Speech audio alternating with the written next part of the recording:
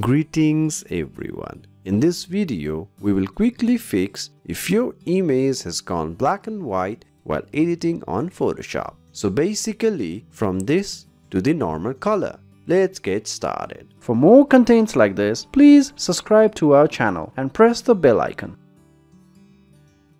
Out of nowhere, while editing our photos on Photoshop, it changed to this color.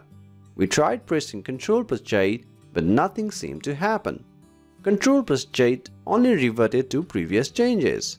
Then we figure out there's a very easy fix for it. This happens when you mistakenly press Ctrl plus 5, Ctrl plus 4, etc. To fix this, first check on the layers. If you see different color layers, then select the RGB one.